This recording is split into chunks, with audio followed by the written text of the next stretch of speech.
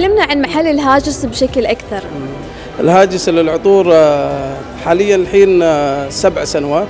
آه، كان أول فرع في محافظة ظفار في صلالة. والحين ما شاء الله واصلين آه، 16 فرع. وفي بعد ثلاثة فروع عاد ما فتحت إن شاء الله.